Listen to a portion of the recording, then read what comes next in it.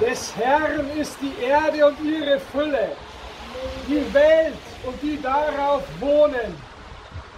Denn er, er hat sie gegründet, über Meeren und über Strömen sie festgestellt. Erhebt ihr Tore, eure Häupter, und erhebt euch, ihr ewigen Pforten, dass der König der Herrlichkeit einziehe. Wer ist dieser König der Herrlichkeit? Der Herr stark und mächtig, der Herr mächtig im Kampf. Erhebt ihr Tore, eure Häupter, und erhebt euch, ihr ewigen Pforten, dass der König der Herrlichkeit einziehe. Wer ist er, dieser König der Herrlichkeit? Der Herr Jesus Christus, der Herr der Herrscher. Er ist der König der Herrlichkeit.